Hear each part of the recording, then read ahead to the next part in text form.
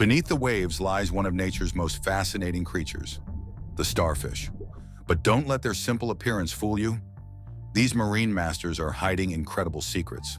Did you know that starfish don't actually have brains? Instead, they use a complex nerve network that spreads through their entire body. Even more amazing, they can regenerate lost arms, growing them back completely in just a few months. Here's something that will blow your mind. Starfish don't have blood like we do. They pump seawater through their bodies using hundreds of tiny tube feet. These same feet help them move and hunt, allowing them to pry open clams and oysters with incredible strength. Perhaps their most remarkable feature? Their stomachs can actually emerge from their bodies to digest food outside their body.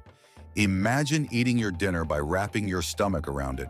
These incredible animals have survived for over 450 million years, proving that sometimes the most extraordinary creatures are hiding in plain sight.